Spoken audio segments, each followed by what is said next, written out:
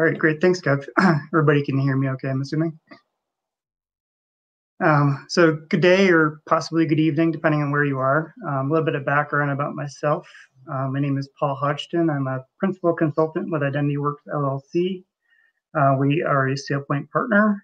Um, been working in the identity management space for past 15 years, uh, nine of which are in consulting capacity with Identity Works. Um, worked on quite a few large scale projects, uh, several different vendor products, and definitely have to say that the plugin framework um, by far, you know, is the most flexible um, in terms of you know customizing the product or, or um, you know developing sort of custom solutions that you might need. Um, so when SailPoint reached out to us for ideas on topics for this conference, uh, widgets were immediately at the top of my mind. Um, I've built quite a few plugins over the years, but it wasn't until the past year or so when I started looking at widgets. Um, and one of the things I did find was there really isn't a lot of resources out there for building custom widgets. Um, so, you know, I was kind of uh, learning on my own exercise. um, I do see a lot of hype in the plugin channel, so I hope you guys gain some good information about widgets um, and feel empowered to go off and create your own and realize the uh, value that these will add to your install.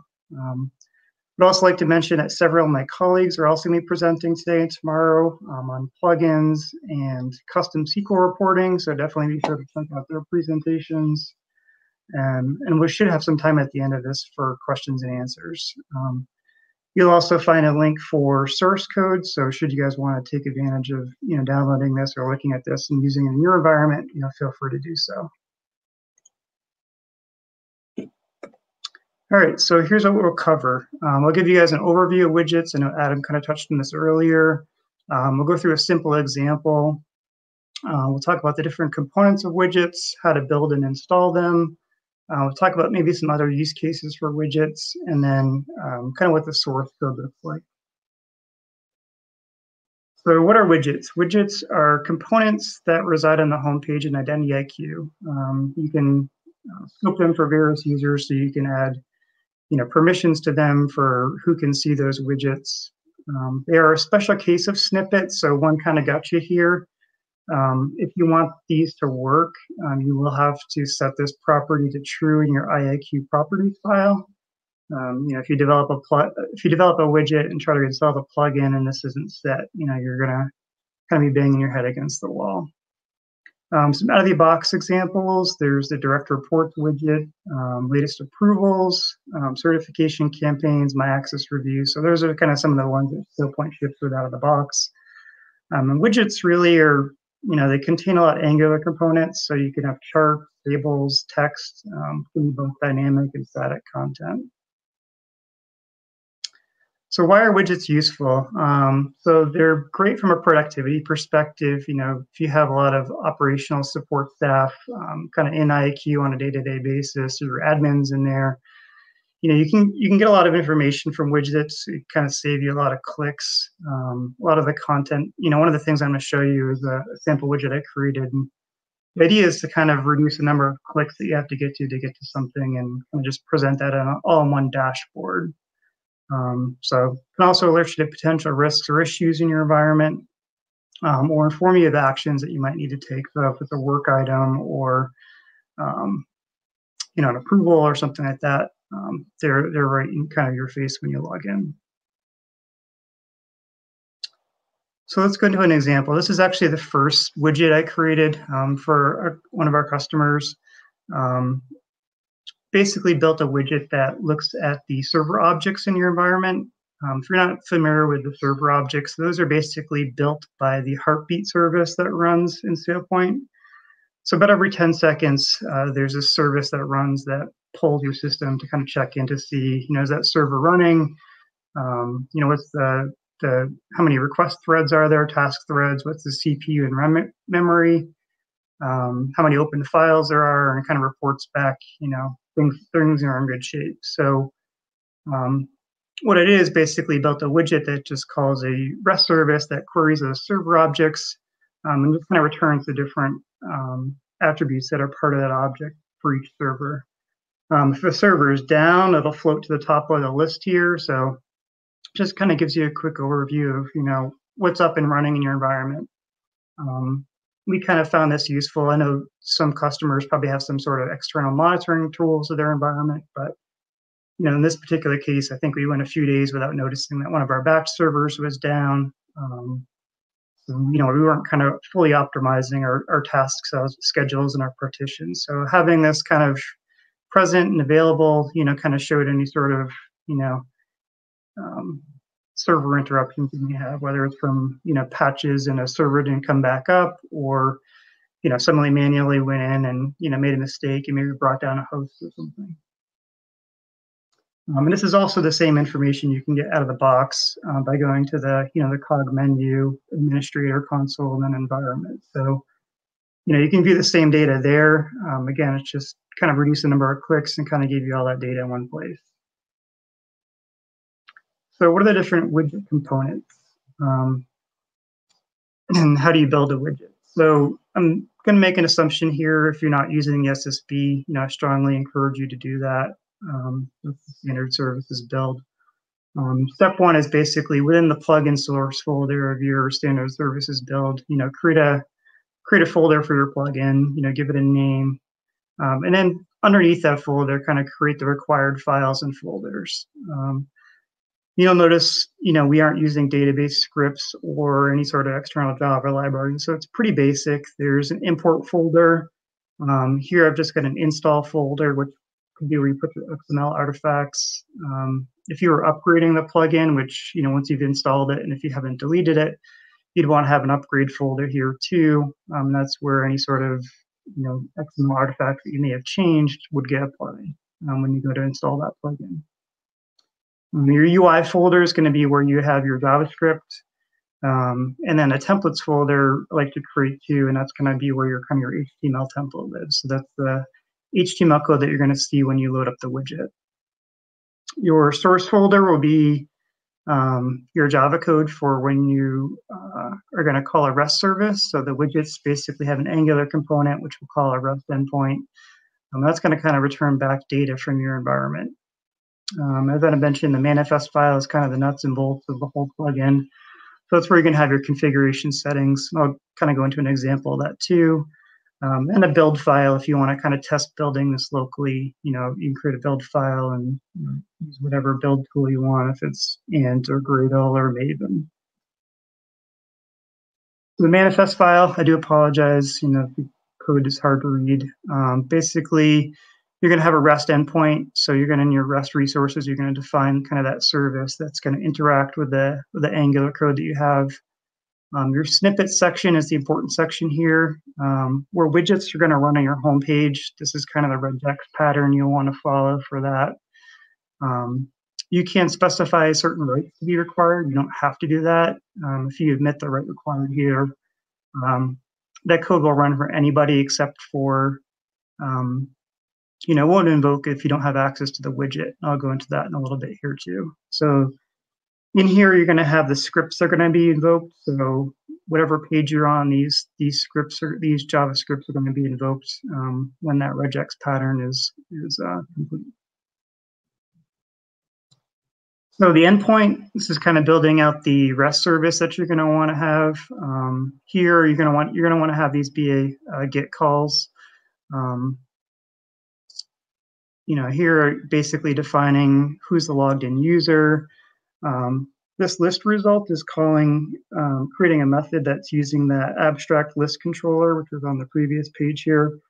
This is kind of a default um, JavaScript file that you can, you know, you can extract from the, the plugin or the sample code I have. Um, and that's going to return basically back a list, which is going to populate a table um, in that widget. You can set your authorization for your endpoint here. So, you know, what as long as the logged in user has you know certain rights or capabilities, the REST service will get authorized um, and then get invoked. And as far as fetching data, you know, pretty basic. I created a value object here to set a few things that I want to show in the widget. Um, you know, basically just querying the server object for you know every object that exists. Um, and then just basically setting if the server is active or inactive, and that's just going to give me an indicator on the widget, you know, if it's up or down. Um, and then just setting some of the different objects um, that I want to display by pulling back those attributes from that XML file um, and returning back that as this list DTO um, object. So as far as AngularJS components, um, these are going to be the pieces that handle the UI part of the widget. Um, so there's going to be a JavaScript file or files. Um, those will contain your controller for the widget, as well as you know the directive to define the contents. Um, you can bundle all that into one file. Um, the example I have, it's, it's all in one file. I've seen other cases where you can kind of split those JavaScript files out separately. Um, the controller is going to take care of, you know, calling that underlying REST service that we just looked at. Um, and then one kind of caveat here is in your uh, constructor for your JavaScript, def definitely just make sure that your um, your widget name matches what you're invoking here in the constructor. Um, otherwise, you might just get a widget that just has a header on it. As far as HTML components, um, so basically you're going to want to include an HTML file. Um, to kind of be what's um, presented in the in the widget when you look at it. Um, those can be embedded um, in JavaScript, but they're also easier to read if you use this plugin helper method. So in the JavaScript, you know, like I said, it's tougher to read, but you can use this plugin helper method and basically specify the, the path to that URL um, or to that HTML template file. Um, and it'll parse that out and display that. And then just some kind of tidbits on the template variables. So these get substituted in in your Angular code. Um, the one on the left versus the one on the right, um, the difference here would be that when the page loads and the widget runs, these variables would be substituted in. If you have the um, tags in here with the, the double semicolons or double colons, um, what you're going to see is basically if you have more than more than one page of results, you're just going to see the same data over and over again as you page through it. So it's almost like a cached copy of um, of the data. So if you've got dynamic content you want to display in its page, definitely go with the model on the left.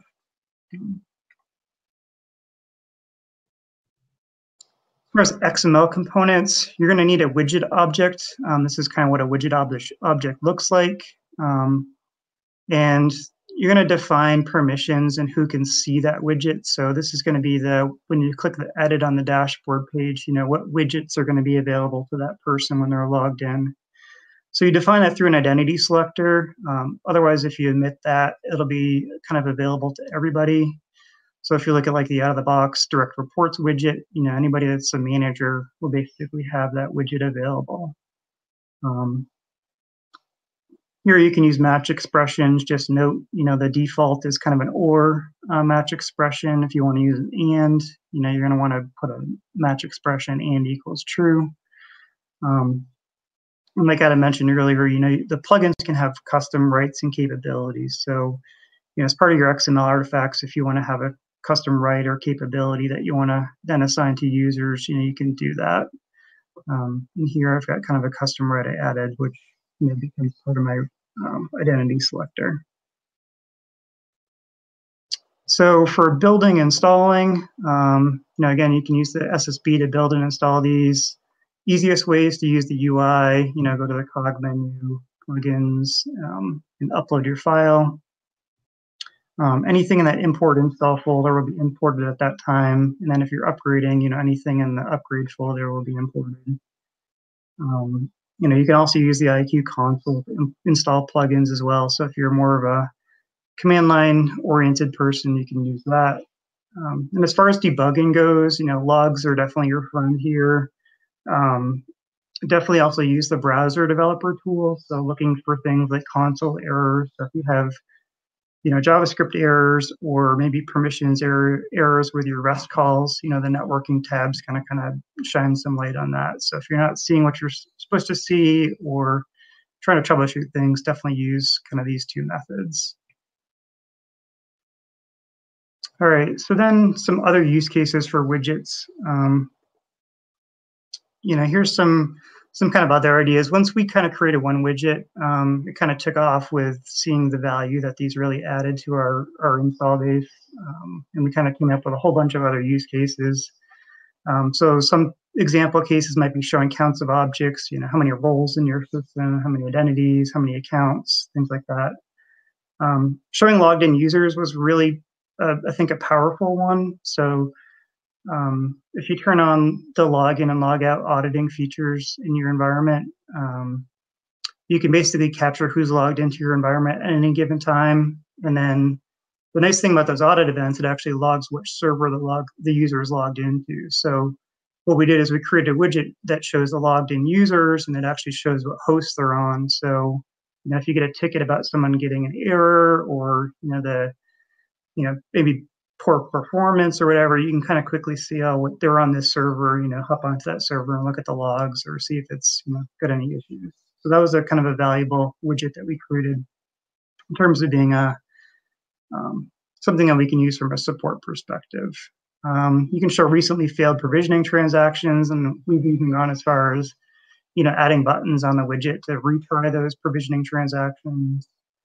Um, we've captured what the task schedule is, so it'll kind of show you, you know, what tasks are running in your environment, what the upcoming schedules are for particular tasks. Um, we've done a widget that shows which plugins are installed in your environment. Um, you could also do things like showing links from the debug menu. So, you know, maybe showing like the about page in the database menu, um, you know, the the monitoring and, and meters and things like that. You could probably build a table of a widget that just shows all those links and you can quickly, you know, deep link to those those different pages. Um, showing task metrics, so things like how long tasks are taking to run, what's the average runtime. Um, you could also do things like building a table of quick links. So maybe if you want to save some real estate on the homepage, um, building out a table, you know, that just kind of lists all the different quick links you have access to, and you can directly link through those.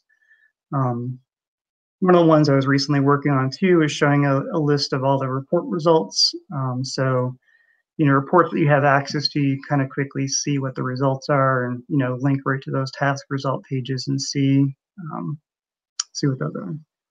Um, definitely, if you have any other use cases or things like that, you know, feel free to comment in the chat. Um, and just on the right is kind of some examples of the out of the box widgets. So, you know, they don't have to look like uh, like a data table. You know, they can have other components. You know, it's all HTML and JavaScript, so you can definitely be as creative as you want. Um, you know, including kind of graphs and you know things like that.